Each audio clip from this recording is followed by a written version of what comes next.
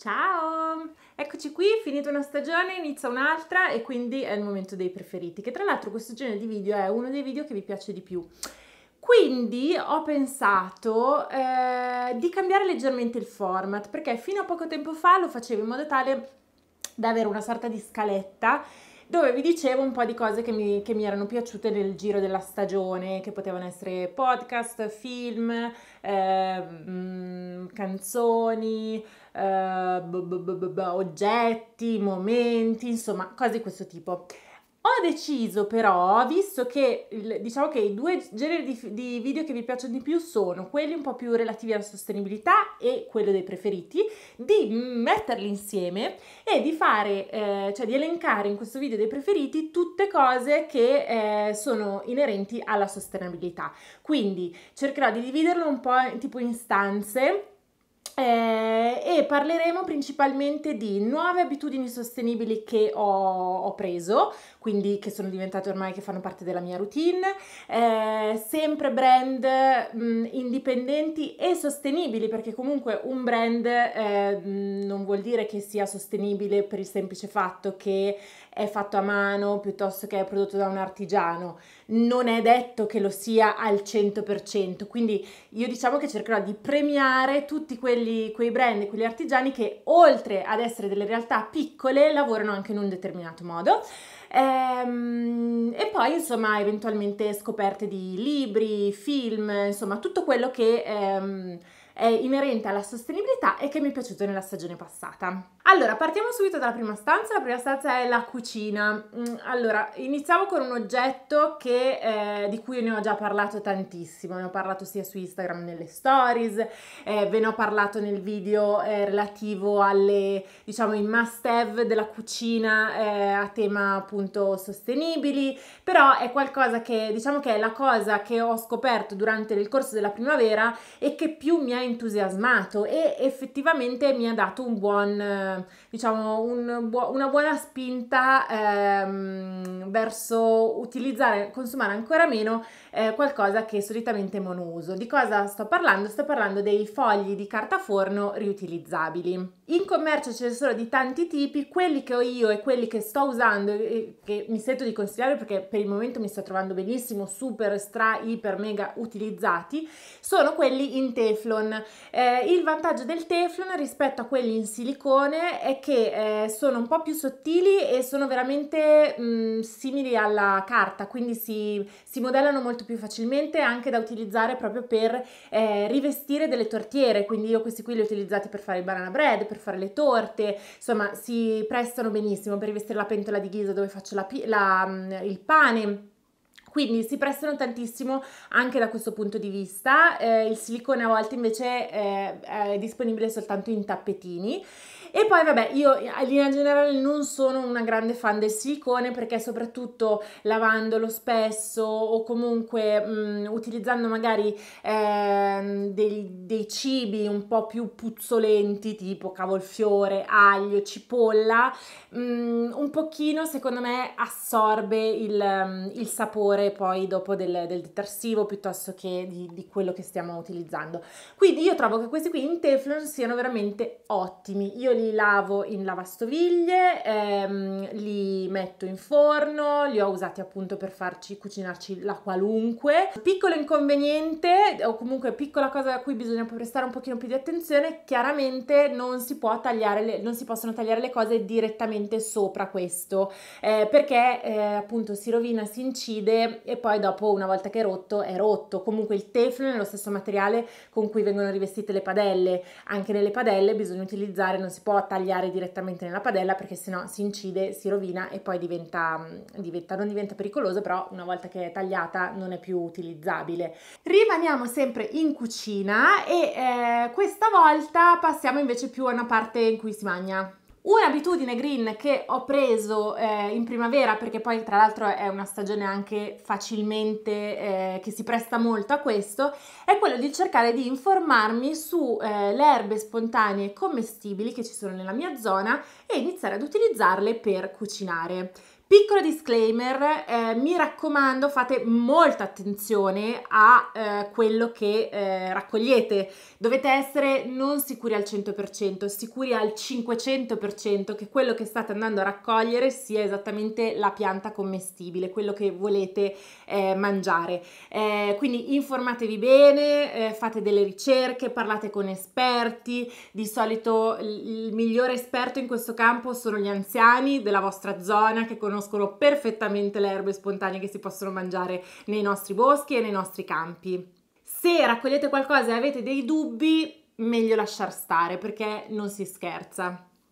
La primavera ci viene in aiuto perché è un po' più facile riconoscere eh, le erbe spontanee perché appunto le piante magari hanno i fiori e quindi il fiore è una grossa indicazione che quella pianta è effettivamente quella che noi stiamo cercando e non è una, una similare. Eh, e poi ci sono delle piante che sono diciamo un po' più comuni e più facili da, da, da riconoscere. Nel mio caso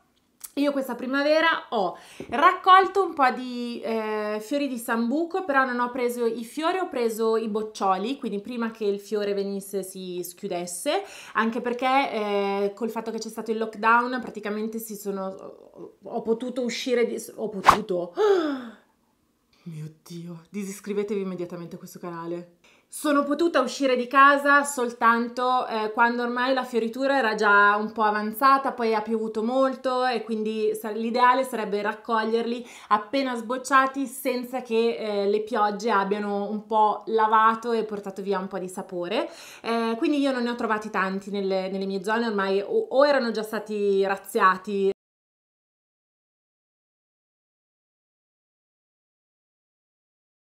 raccolti oppure erano ormai appassiti, un po' bagnati, un po' spopolati. Eh, quindi ho raccolto alcuni eh, boccioli che li ho messi sott'aceto da una ricetta che ho trovato sul blog di Giulia Scarpaleggia, Jules Kitchen, vi lascio comunque il link qua sotto, ormai la stagione è passata, però magari vi serve per il prossimo anno. Eh, li ho fatti sott'aceto perché io adoro le cose sott'aceto eh, e poi alcuni li ho fatti fritti insieme ai fiori di acacia eh, nei boschi della mia zona è pieno di acacia. L'acacia eh, sarebbe la robinia, ecco, poi questo è stato un altro dubbio che è venuto mh, mm, mentre facevo vedere questa cosa durante le stories, perché eh, la pianta, il nome scientifico della pianta è robinia ehm, ed è una pianta di origine americana, dei boschi del Nord America se non sbaglio, che è, è arrivata da noi in Europa e ha un po' infestato i boschi eh, a discapito spesso dei castani che invece prima erano molto diffusi dalle nostre parti, adesso diciamo che la robinia ha preso il sopravvento perché è una pianta molto resistente, è quella che ha delle foglioline tonde e i rami con le spine. Eh, quindi si chiama robinia, però spesso i suoi fiori vengono chiamati fiori di acacia, eh, nonostante l'acacia in termine scientifico botanico sia tutt'altra pianta, è una pianta che ha i fiori che assomigliano a quelli della mimosa, quindi proprio non c'entra assolutamente niente, però se noi ci pensiamo anche il miele di acacia è il miele delle api che eh, prendono il nettare della robinia, quindi comunemente quando si parla dei fiori edibili ehm, di questa pianta si parla di fiori di acacia efficacia, nonostante sia la robinia. Eh, comunque ho, io non li avevo mai assaggiati nonostante sapessi che fossero commestibili, li ho provati a raccogliere, li ho mangiati e ho scoperto che sono una delle cose più buone che esiste della terra perché hanno un sapore dolcissimo. Mi dicono che anche il glicine è molto simile al fiore della robinia e anche quello si può mangiare, però io quello non ho fatto ricerche quindi prendete queste informazioni con le pinze. Eh, comunque se li fate fritti con una pastella sono buonissimi, è come praticamente mangiare delle dei fiori di miele al nettare di miele fritti, cioè una delizia. Altra erba spontanea che ho, ho, ripreso dopo che io ho passato l'infanzia a mangiarla perché la mia nonna la cucinava spesso è l'ortica. L'ortica eh, mi dicono che in alcune zone si vantano di essere riusciti a debellarla perché comunque anche quella è una pianta spontanea, infestante e soprattutto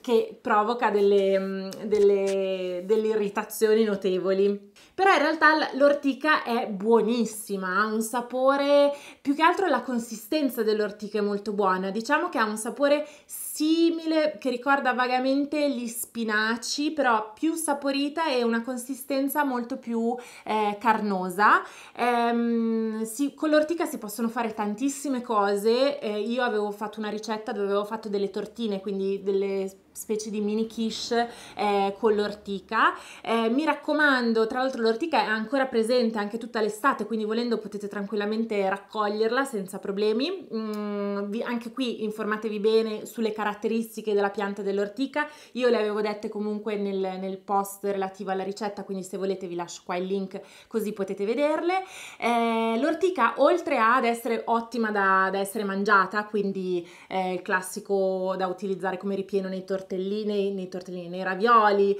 come per fare il risotto, come nella pasta, nelle torte salate, insomma tantissime, mh, mm, ha tantissime implicazioni, utilizzi, eh, molto, fa molto bene ed è molto buono anche il suo decotto. Infatti una cosa che io vi consiglio è quando la bollite, perché l'ortica, allora innanzitutto vi dovete mettere i guanti per raccoglierla perché sennò rischiate che vi vengano tutte delle irritazioni se non avete le mani diciamo allenate, eh, perché ha tutti questi peletti che eh, sono sono urticanti. Eh, se la prendete e la lasciate in frigorifero una notte, 24 ore, mh, mm, non dovrebbe più avere problemi, cioè potreste riuscire a mh, mm, manovrarla tranquillamente con le mani perché appunto questo suo effetto urticante passa. Io per sicurezza, io quando l'avevo raccolta, l'ho raccolta, l'ho, l'ho lavata sempre utilizzando i guanti eh, si lava molto bene, quindi soprattutto con tutte le erbe spontanee, a parte i fiori che sono un po' più delicati, quindi lì c'è un lavoro un po' più di minuzia. Per questo genere di erbe fate tanti risciacqui in modo tale da essere sicuri di eliminare tutta la terra, tutte le impurità, tutti gli insetti, perché un po' di insettini ci sono sicuramente perché sono nei campi. Eh, quindi mh, mm, lavatela molto molto bene, eventualmente aggiungete anche un pochino di bicarbonato, eh, dopodiché va sbollentata, quindi una volta che è stata bella lavata la sbollentate. Il mio consiglio è di non salare quell'acqua perché poi quell'acqua lì dove avete sbollentato l'ortica, l'ortica ve la mangiate, la utilizzate per fare quello che preferite niente, quell'acqua lì fa molto bene, quindi la potete bere come, come tisana, è depurativa, insomma ha, ha tantissime proprietà. Visto che eh, fa caldo, io non l'ho mai provato, però secondo me non sarebbe male magari diluita un pochino con dell'altra acqua, vi fate una sorta di infuso da tenere sempre in frigorifero, da bere ogni tanto eh, come per rinfrescarvi. Allora, la cucina direi che l'abbiamo sistemata. Passiamo, passiamo adesso a un'altra stanza. Direi camera guardaroba, facciamo una cosa del genere. Allora, volevo aggiungere anche il bagno, però nel mio bagno praticamente non è entrato niente di nuovo. Vi parlerei di soliti shampoo solidi che, di cui vi ho già parlato eh, largamente, quindi lasciamo stare. Quindi ho deciso di fare una doppia, una combo eh, guardaroba, guardaroba, diciamo, con un accessorio e un, un capo di abbigliamento. Allora, partiamo dagli accessori e parliamo da una delle domande che mi è stata più fatta, più gettonata quando faccio le stories e indosso quel particolare oggetto, ovvero di chi sono quegli orecchini? Allora, io oggi ne ho indosso un altro paio sempre fatti da lei eh, che avevo acquistato insieme agli altri. No, avevo acquistati dopo, gli altri li ho, li ho presi più te- tempo prima, ehm, mentre invece quelli che proprio sono super gettonatissimi, perché poi li metto spessissimo perché no, no, non cambio tanto orecchini, non ne ho tantissimi, quindi sono sempre gli stessi che, che girano, sono quelli un po' a cerchio con la mezzaluna. Eh, quelli sono un po' il mio passepartout, mi piacciono tantissimo, li metto un po' con tutto e ogni volta ricevo tantissimi complimenti. Allora, l'autrice di quegli orecchini e anche di questi, che anche questi qui mi piacciono molto, sono un po' più grafici, un po' più, un po più concettuali, un po' più da designer, da fotografa concettuale. Eh, l'autrice si chiama Sara e il marchio si chiama We Are Nodo. Io ho conosciuto Sara eh, tramite lo shop perché lei ha collaborato nella collezione Bon Appetit eh, facendo degli orecchini perché lei lavora tanto all'uncinetto, quindi lei diciamo che ha due tipologie di prodotto, realizza borse e accessori all'uncinetto, eh, tra l'altro carinissime, super belle, eh, con dei colori bellissimi e realizza anche gioielli mh, mm, in eh, argento riciclato o in ottone. Eh, le sue forme sono bellissime a me piacciono molto, sono molto semplici, molto minimali. Lei vive in Inghilterra, vive a Londra, ma ha origini friulane e, ehm, e niente, cioè i suoi, i suoi, articoli mi piacciono tantissimo, è attentissima alla sostenibilità, quindi nella ricerca, continua ricerca in, nei confronti di materiali, di utilizzo di materiali magari riciclati, aveva fatto tutta una collezione di borse utilizzando un tessuto di canapa antico, bellissimo, ehm, anche nell'attenzione con cui utilizza tutte le cose che utilizza per il packaging, insomma Sara sa il fatto suo e ha una collezione molto bella, quindi direi che lei, soprattutto perché i suoi orecchini hanno spopolato eh, durante tutta la primavera, non potevo che citarla. Un altro brand invece che eh, riguarda l'abbigliamento è eh, relativo anche a un'altra cosa che è un'altra delle domande che quando lo indosso mi dite ma bellissimo dove l'hai preso? Allora sto parlando di un marchio lituano eh, di abiti in lino. Allora il marchio si chiama Not Perfect Linen. Ehm, è una piccola azienda, beh piccola, un'azienda che si sta strutturando, ha lo shop Suezzi, eh, ha gestione familiare e realizza capi in lino. La qualità dei capi è pazzesca, cioè il lino è veramente molto molto bello, di una qualità molto alta, hanno una palette colori fantastica, eh, i modelli trovo che siano molto versatili nel senso che eh, si adattano bene a diverse forme del corpo, anche come a livello di misure eh, penso che sia abbastanza facile mh, riuscire a capire quale sia la propria misura più adatta in base appunto alla forma del proprio corpo. Loro, eh, una cosa interessante, oltre a utilizzare tutti i lini prodotti in Lituania, perché la Lituania è famosissima per la produzione di lino, eh, i lini lituani sono famosissimi in tutto, in tutto il mondo, eh, infatti anche io per lo shop ho scelto dei lini lituani perché la qualità è molto alta ed è molto, sono molto buoni, loro hanno una tradizione antichissima sul lino, addirittura hanno una festa dedicata alla raccolta del lino perché era, faceva proprio parte principale della loro cultura e il lino è uno dei materiali che viene utilizzato più spesso nei matrimoni, negli abiti tradizionali dei matrimoni c'è il lino perché comunque è al centro della loro cultura. Ehm, loro realizzano questi capi e la particolarità è che loro lavorano sul venduto, quindi non creano, non fanno stock. In questo modo riduci tantissimo anche eventuali eh, scarti. Eh, il, il, di, di, la buona notizia è questa, di contro chiaramente i tempi di produzione sono lunghi, quindi voi fate un ordine e lo riceverete all'incirca dopo circa 3 settimane, 3-4 settimane. Diciamo che l'ordine in lavorazione ci impiega circa 3 settimane, poi c'è la spedizione. Io avevo già acquistato l'anno scorso il vestito quello eh, giallo che mi vedete indossare spesso, lo uso tantissimo, l'ho usato tantissimo. E quest'anno appunto ho deciso di acquistare una, un altro ah poi ho acquistato da loro anche una tuta sempre l'anno scorso l'anno scorso avevo preso una tuta pantaloni che anche quella la metto un sacco e il vestito giallo e quest'anno invece ho preso quel vestito lì a maniche lunghe perché appunto volevo qualcosa a mezza stagione e poi una camicetta. E una cosa che mi piace è il fatto che abbiano dei modelli che sono trasversali, quindi non, non lavorano su collezioni, sono modelli che vanno bene sempre, classici, ma con un tocco in più, eh, con dei tagli molto interessanti e, e, anche il fatto che comunque lavorino sul venduto e il, il fatto che tu debba aspettare bene o male un mese prima di ricevere il tuo capo secondo me ti fa ragionare ancora di più sulla necessità di quel capo e quindi lo acquisti solo se effettivamente ne hai bisogno e sai che lo indosserai e che lo porterai tanto. Bene, arriviamo, visto che abbiamo saltato il bagno, eh, arriviamo adesso a un'abitudine, una nuova abitudine green, poi la, la, finisco perché sta diventando bello lungo questo video, parlo tanto come al solito, sempre la mia caratteristica è così, che ci volete fare. Eh, una nuova abitudine green che ho preso, allora, mi sono ripromessa di fare una cosa. Forse me ne pentirò, ma l'ho fatto. no, allora, ho deciso che voglio, siccome io ho questa mia grandissima passione per le piante, è enorme, lo sapete tutti, vi faccio una testa così, le mie gioie le mattutine di vedere le mie piante sono enormi ho deciso di cercare di, ehm, siccome nella mia casa c'è ancora dello spazio per delle piante, può sembrare impossibile, ma c'è, credetemi, c'è, c'è ancora questa esigenza, eh, ho deciso di cercare invece di acquistare nuove piante, di creare le piante che ho bisogno direttamente da quelle che ho già. Perché eh, c'è un detto che dice, non so che detto sia, però l'ho sentito dire spesso, non so che origine abbia, che quando è una pianta in realtà è mille piante, perché potenzialmente tu da quella pianta ne puoi ricavare tantissime altre. Così sto facendo, quindi sto moltiplicando le pile, sto moltiplicando i potus, sto moltiplicando la mia monstera, insomma tutto quello che riesco e che so che è possibile moltiplicare, io lo sto moltiplicando. Forse mi sto montando la testa, penso di essere una divinità, qualcosa di particolare che ha questo dono di moltiplicare, però eh, lo sto facendo. È molto più semplice di quanto uno possa pensare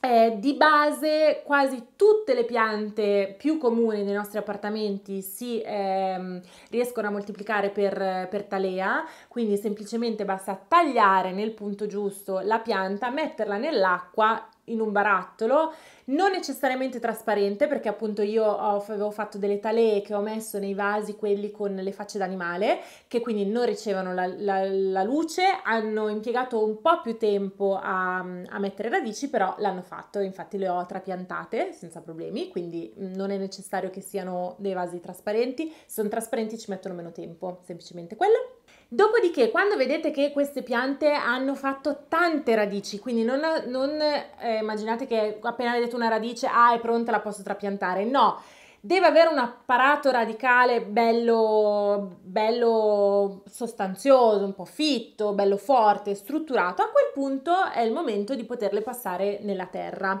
Eh, io sto cercando di utilizzare, di andare a recuperare in giro vasi in terracotta vecchi che si trovano, un po' mh, mm, me li faccio passare da mia mamma, eh, un po' li sto cercando in modo tale da, da riutilizzare quelli lì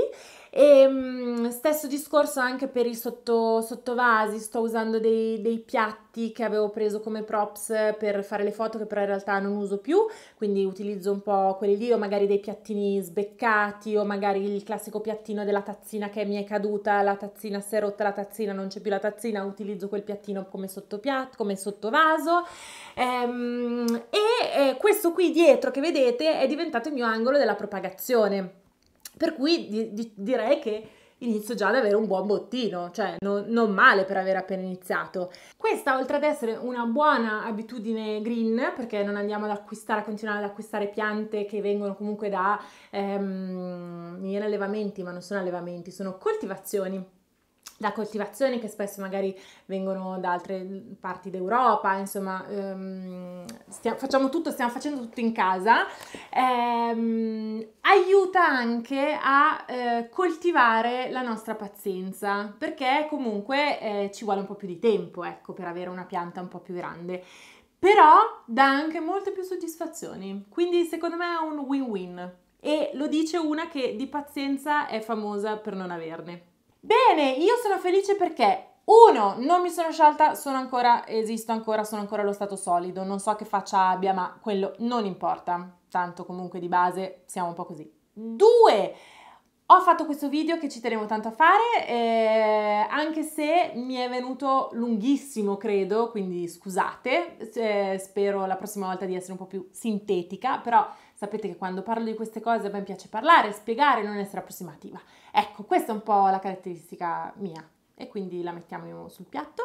e, e, basta, no, fine, il video è fatto, queste erano le mie preferite, le mie pre- cose preferite green eh, della scorsa primavera. Bene, io vi auguro una buona domenica e ci vediamo domenica prossima con un nuovo video e in settimana sul blog come sempre su Instagram. Un bacio, ciao!